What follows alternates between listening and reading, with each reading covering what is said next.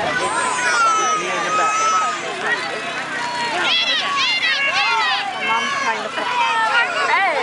the back corner, the corner, the room. No flags on the play. Touchdown Vikings.